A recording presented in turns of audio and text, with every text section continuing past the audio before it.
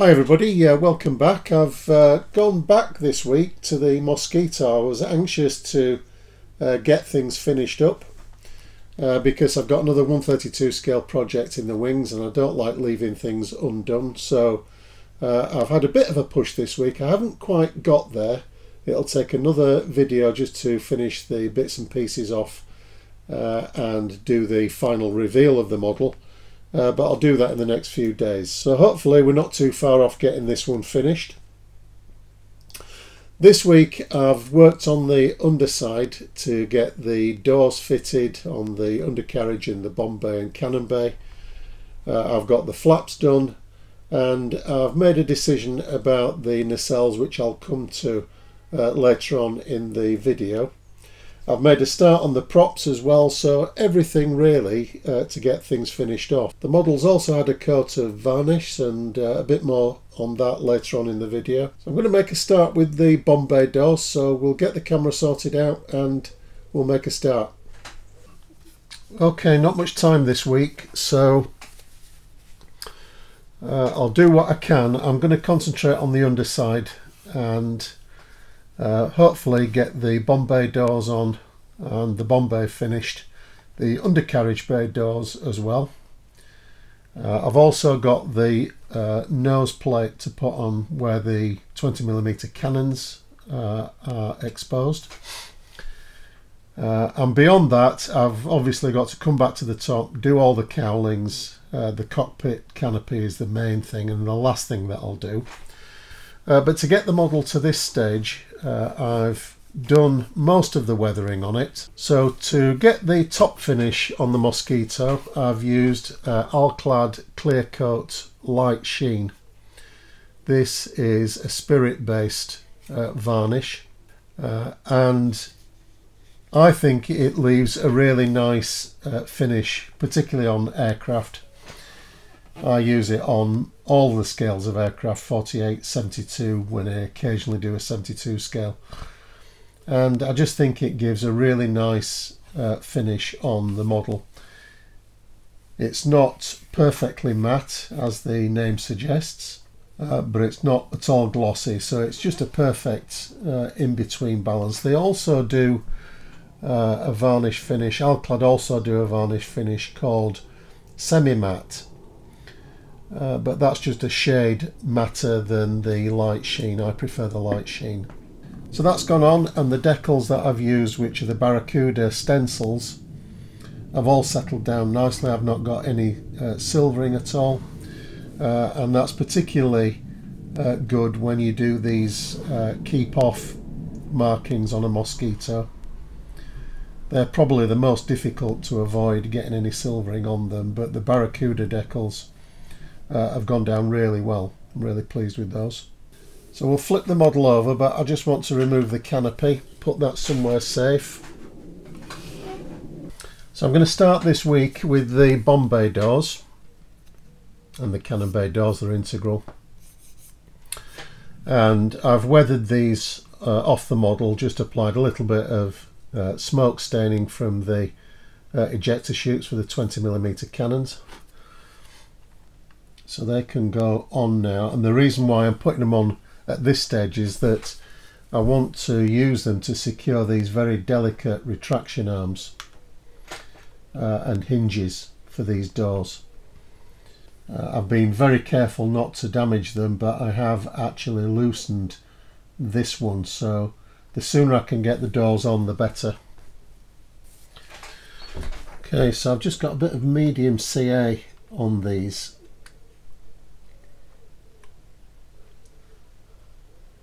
and hopefully that will secure the door.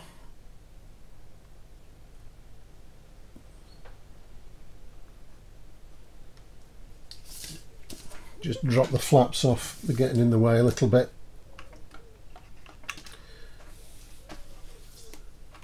I'll uh, secure these later on in the video but I'll just want to get this bomb bay finish first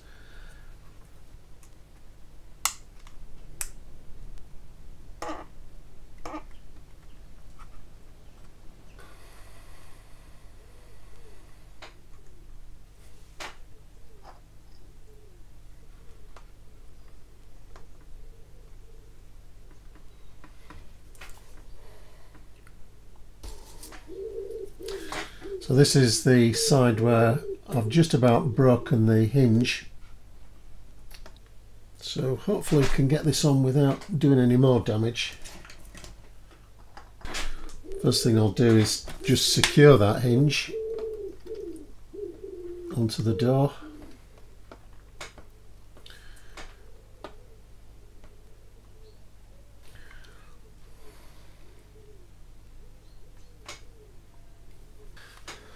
Okay, we've got another couple of hinges. There's uh, a retraction jack that goes at the back here and I've got a couple more to fit at the front. Uh, so we'll just do those next and then that's the bomb bay finished off. We just need to drop the bombs in and then we're done. They're actually very secure. The hinges are pretty strong once they're actually glued onto the doors. This is the uh, retraction jack at the back for the bomb bay door. Now I might be able to get this in without any glue because it's a pretty uh, snug fit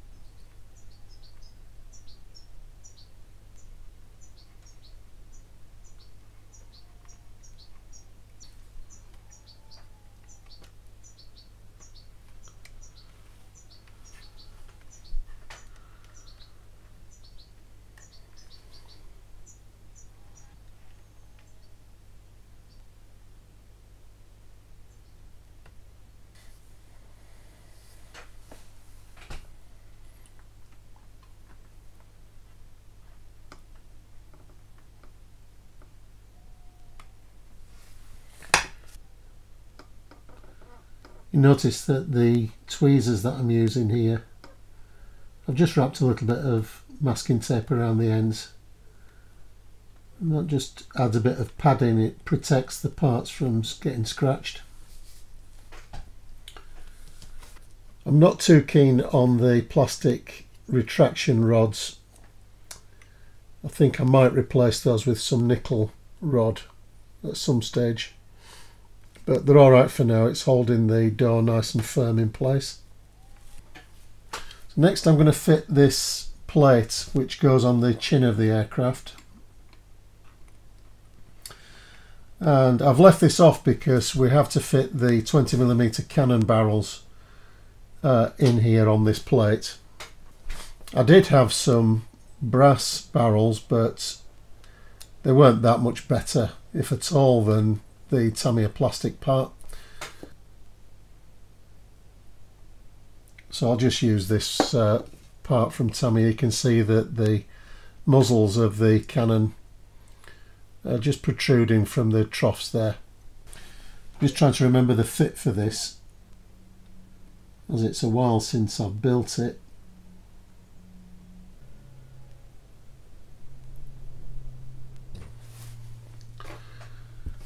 Problem with cotton gloves is they do get in the way so I'll just have to be careful not to touch the model.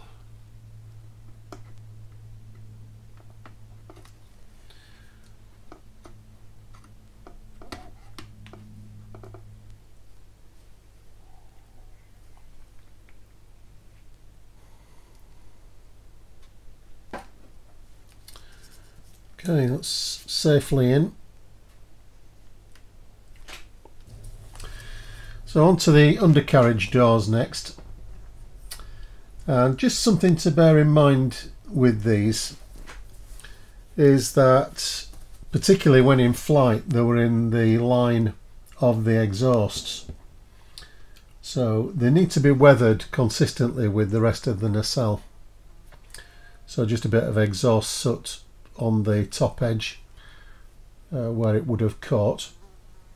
Otherwise, if you have perfectly clean undercarriage doors next to a dirty nacelle, they just don't look right. So it's just one of those areas where just uh, think through how the aeroplane would have weathered uh, just to get it all to match up and be consistent. So again, I'm going to use some super glue to get a nice strong bond with these. the connections that Tamiya provide are very positive so we shouldn't have any trouble getting these to fit famous last words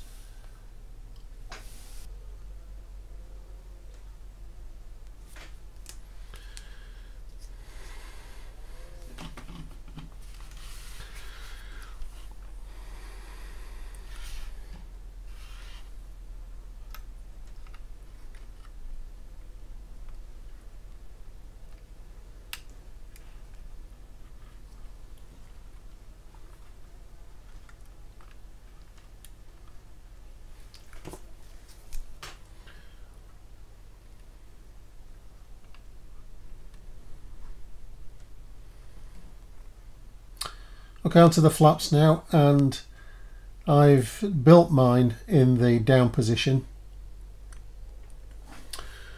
just to add a bit of interest really to the finished model. The first thing to do is to get the flaps located into the nacelle which is a bit tricky, they're slightly awkward but they do go in.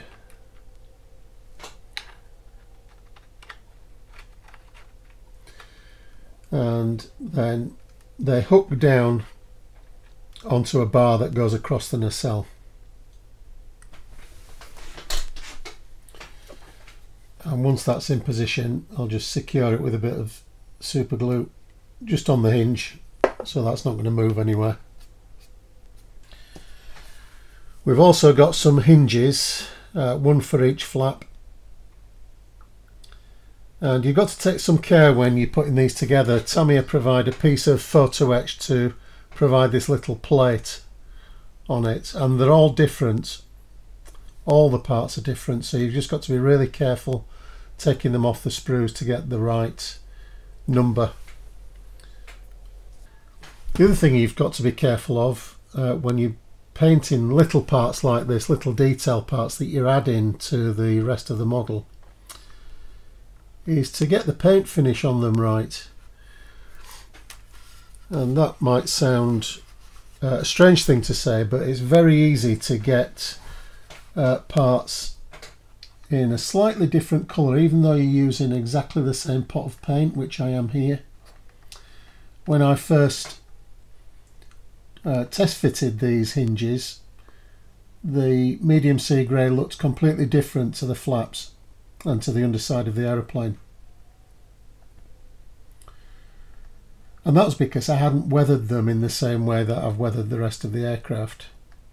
So as soon as, so they were basically just too grey and they stood out as being uh, additional parts that I just glued on rather than being uh, integral to the rest of the aeroplane. And it's very easy at this stage of a build to get that sort of inconsistency in finish. So you can tell the parts that have been added right towards the end. And it does tend to stand out a little bit, so just be careful to get them all, to get these detail parts weathered in the same way as the rest of the build, if you can.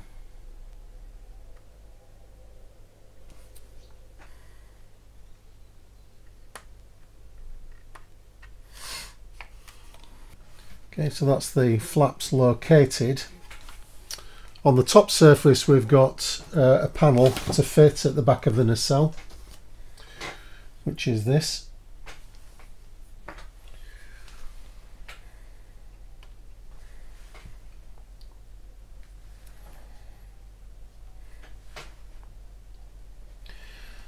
Now Tamiya say that you can remove these but to be absolutely honest I don't see the point. You can see the hinge detail I suppose but I don't think it's worth having this part flapping around and falling off.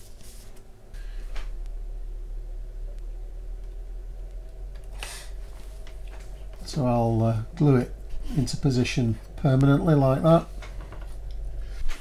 Okay so I've been thinking uh, for a while about how to display the two engines uh, in the Tamiya kit. You'll know that Tamiya uh, have designed the kit so that they should be removable, the cowlings. But I think in practice it's very difficult to get them to stay. And if you can get them to stay, uh, it's even more difficult to get them to look convincing and to be uh, closed in the right sort of way. Nice and tight. It's very difficult to do that. So what I've decided to do is to uh, cement the majority of the cowlings in place on the starboard engine and I'll leave the uh, top cowling off so that's this piece I'll leave that detachable so you can see down into the engine but the actual side cowlings and the underside I'll glue in place uh, on the port side I'll put up with the occasional loss of the cowlings as they drop off. The magnets really just aren't strong enough, I don't think, to uh, get them to display properly. So that's the plan, one exposed and one partially closed up. But before we fit any of these cowlings, we have to get the exhausts ready. And you'll remember if uh, you watched earlier episodes of the build that I used some Brassin engines, or I tried to use them, I didn't get them to fit in the end. But they came with a set of resin exhausts, which are quite a bit better than the Tamiya exhausts. So that's these parts here. And obviously they need uh, assembling. Uh, there are two parts to these in the Brassin set, an outer shroud and the actual exhaust pipes themselves. So these need to be painted up now and attached to the engines and all I've done with them after assembly is to give them a coat of matte black and then uh, various dry brushing with some uh, rust brown and some gunmetal just to highlight the tips of the exhausts so they've come out uh, looking pretty well. They're sort of a burnt iron colour. And the way that I'm going to deal with the exhaust is you can see for the engine that I'm going to display I've fitted the exhausts uh, into the engine. But for the starboard engine I'm going to attach the exhausts onto the inside of the side cowlings and the reason for that is that you get a nicer fit that way. So that will just attach in there like so. And and then we can glue the cowling onto the side of the uh, engine bearers. Now looking at these cowlings you'll notice this silver patch or this uh, metallic patch and this matches the shape of the shrouded exhausts. So you can see here this is the Tamiya shroud that is provided for a couple of the options in the kit but our particular option uh, has the uncovered exhausts. But you can still see the metallic background where the shroud may have been at one point and Tamiya supplies some decals uh, for this uh, metallic area but I didn't think they were a great fit. I did try them, but they didn't look very good. So the way I handled this was to paint the entire cowling in uh, a Mr. Hobby colour, uh, superfine silver. It gives a really nice metallic effect, as you can see.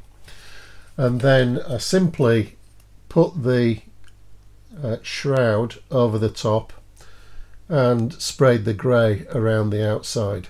Just a little bit of masking on the exhaust exit at the back and at the front. And that just completely sealed the area off. And when we took the shroud away we've got the perfect shape of the metallic area that we want. And then after that I place the cowling into position to do the exhaust staining which is just a mixture of blacks greys and a little bit of tan into the center there and obviously placing it onto the nacelle means that you get a consistent exhaust gas mark all the way along the nacelle. So I'm pretty happy with those, they're nice and grubby Uh, they've been obviously uh, had the effect of being removed quite a few times with oily, dirty hands. So they're ready to go on. So as I said, the first thing I'm going to do is to glue the exhaust into position.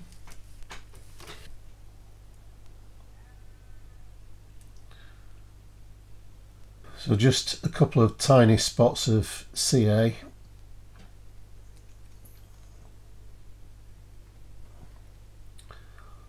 I just want to tack this roughly into place. Now obviously I want a really firm fix in here. I don't want to lose these exhausts by pushing them back into the engine bay. All the way around. Just let that dry before we position it onto the aeroplane. Do the same for the other side using the Brassin exhausts is uh, they're a bit more detailed as I said but I think if you were intending to try to repeatedly fit the cowlings on and off the model as Tamiya intend I think that would be a bit more difficult with the Brassin exhaust because the cowlings don't fit quite as well as they do with the Tamiya exhaust parts. So it's a little bit of a compromise really. You're swapping detail for the ability to pop these cowlings on and off. But actually the more I think about it, the more I've come to the conclusion that the removable cowlings are a little bit gimmicky. So once you've got this in a display cabinet, I wonder how many times you would actually be taking them on and off. Not many, I don't think. So they're nice and uh, secure now. I hope they're not going to pop away. And we can now get them onto the model. As I said, I'm going to glue these in position as I am with the uh, underside cowling. We've got a little mesh to put on the front of this as well, which I'll do uh, before the end of the video. But I'll get it in position first.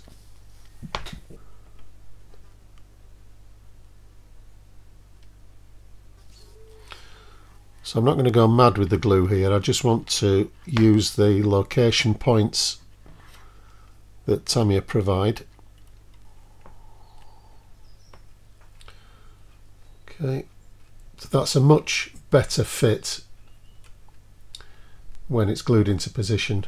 I couldn't get it to fit like that with the magnets at least and at least keep them on. Uh, it's uh, very difficult. So I think that's a reasonable compromise. We can still see the top of the engine on this side if we want to, but I'll leave the port engine exposed uh, with these cowlings. Now the other thing that I don't think I've mentioned before is that the uh, Brassin engine set also comes with a set of fully detailed cowlings uh, which are these. And they've got a little bit more rib detail on the inside.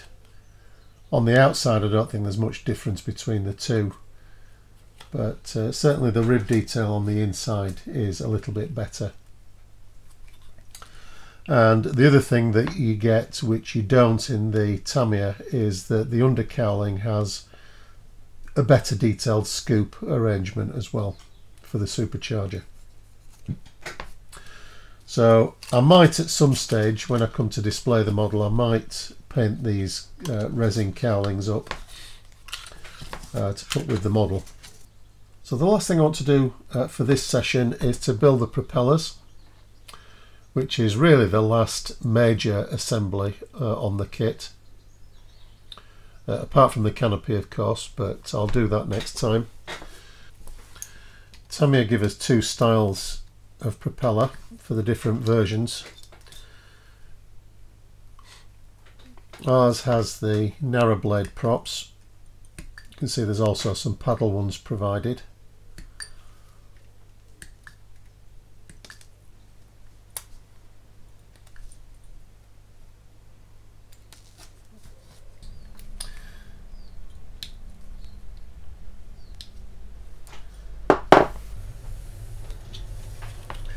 The spinners are different as well for the two options, as are the back plates. So uh, you just need to make sure you get the right parts from the kit. Just going back to the nacelles, it's just occurred to me, and I'd forgotten all about them, but Tamiya provided, at least in the kit that I got, I'm not sure it was on uh, all the kits throughout the world, but I got a set of clear cowlings as well. So that would be an another option for displaying the model if you wanted to retain the shape of the aircraft but still be able to see into the engines. They do need quite a bit of work on them though because they're not particularly clear. This is the uh, top cowling for the starboard engine and they're sort of a translucent really. So uh, Tamiya advise you give these a coat of gloss varnish to sharpen them up a little bit. But uh, I'm not sure how effective those would be. I'm not going to be using them. As always with propeller blades just make sure we get the mold seams off them. Okay so get the blades on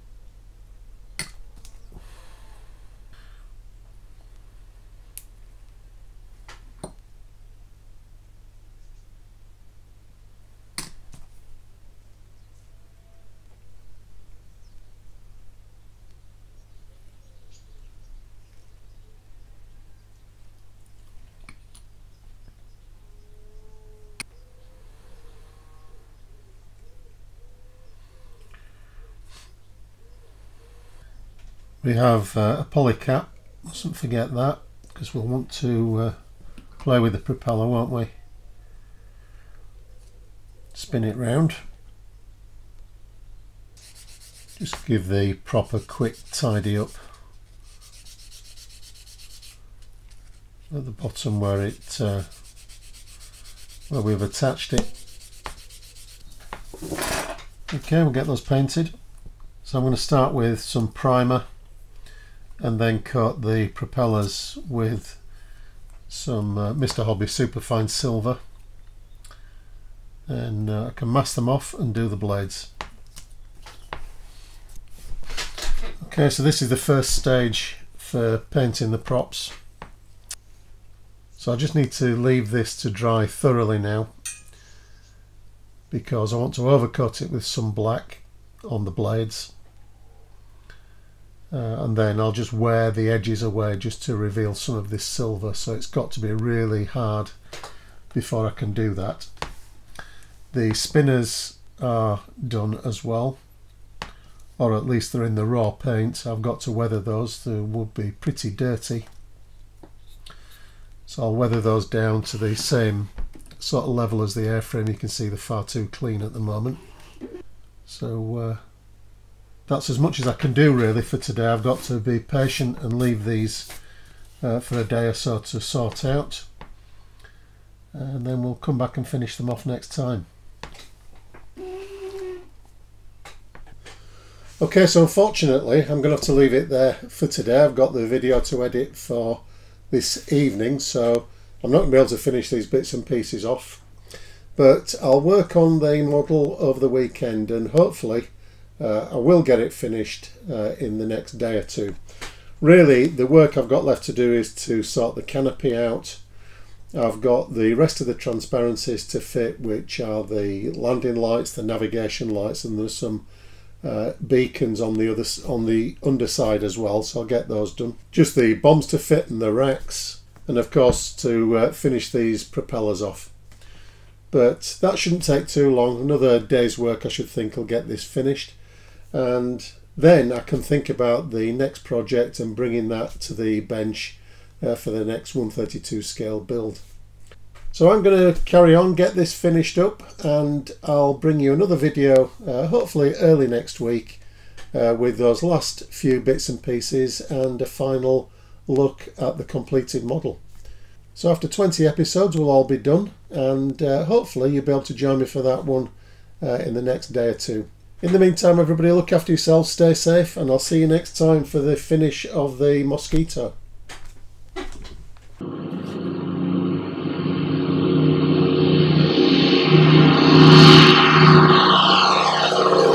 Mm-hmm.